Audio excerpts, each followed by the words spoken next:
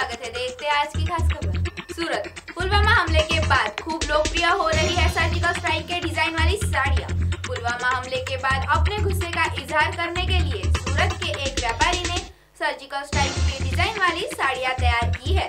लेकिन अब इन साड़ियों की मांग काफ़ी बढ़ गई है। इन साड़ियों पर सैन्य अभियान की तस्वीरों को डिजिटल प्रिंट किया गया है।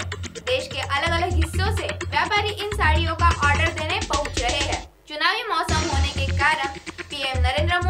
और प्रियंका गांधी की तस्वीरों वाली साड़ियाँ भी लोकप्रिय हो रही है। तो की खबर देखने के लिए आज ही